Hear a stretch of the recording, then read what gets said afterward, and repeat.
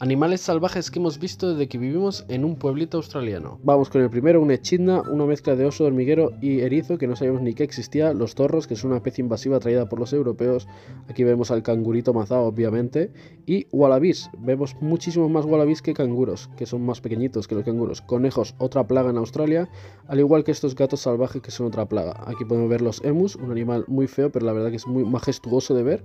las ranitas, esto lo encontramos en mitad de la carretera, al igual que estos que ya hemos visto varios en la carretera así parados, como podéis ver en la foto. Un dragón barbudo y la serpiente, que la vi ayer y sin querer la atropellé.